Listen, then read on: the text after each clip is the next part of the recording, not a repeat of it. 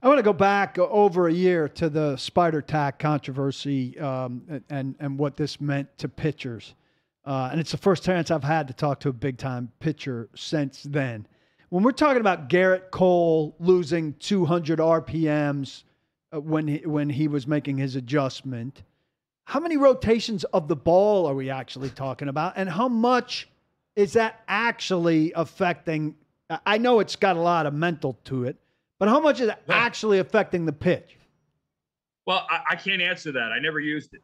Uh, I never. I it was never. I mean, but how much are those 200 it, RPMs actually affecting the pitch? Well, I mean, it's a it's a very simple mathematical equation, right? You've got uh, the ball traveling 60 feet six inches in a that predetermined period of time, uh, and how many rotations does it actually take between out of your hand and at the plate? It's different for a breaking ball than it is for a fastball. I know that, and and you know, but but the, the point you alluded to is kind of a kind of an offhanded point. I think is the primary point. It's all upstairs, because if you if you, I can't tell you how many times I was on the mound, and it was more than once and less than thirty. But how many times I said, you know, I really don't feel like I should throw this pitch, and I threw it, and I watched some fan die for a souvenir uh, as it went into the bleachers, and I was like, yeah, probably shouldn't do that again, and I did it again. But it's it's there's so much mental to this. In this day and age, that's what's happening. This pitch clock, all of these rule changes and things,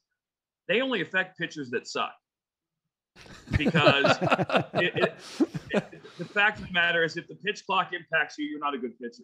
Because good pitchers don't work slow. They never have. Um, good pitchers work quick because on on the dog day in the dog days of August and September, their team's on and off the field faster than everybody else, and their teammates appreciate that. Um, good. They work fast because umpires are calling balls and strikes. Umpires love guys that work fast. It's part of the game. Um, and all the other stuff. These, all these rules, they're really honestly, they don't impact pitchers that have talent.